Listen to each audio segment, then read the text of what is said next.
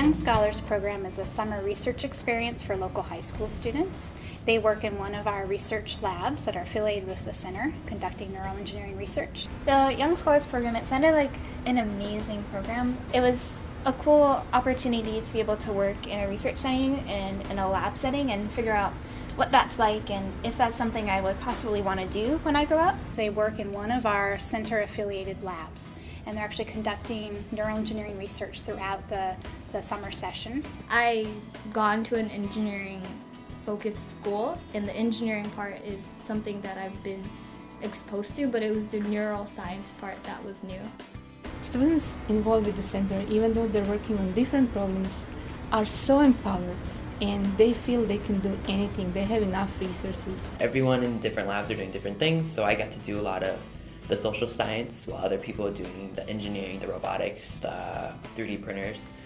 The coolest thing that I've learned so far this summer is the neuroscience aspect of it because it's really cool to see that it's actually really broad.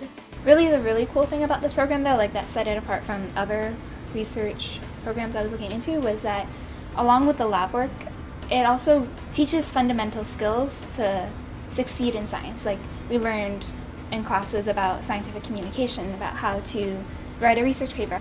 We also learned about ethics and the ethics behind this whole field and it really just shows that there's a lot more to a career in science than just lab work. I would say the ultimate goal of the Young Scholars Program is, I mean, first of all, to, to build awareness about neural engineering within the STEM fields, and then also to give students sort of a leg up for college. Five to ten years from now, I definitely see myself sticking around in the STEM field.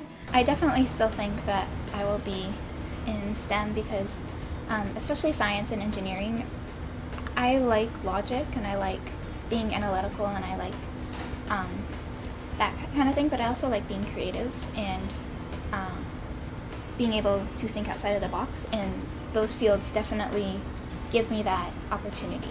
So, yeah.